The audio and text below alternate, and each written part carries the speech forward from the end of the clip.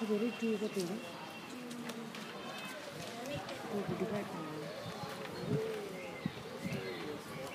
जाए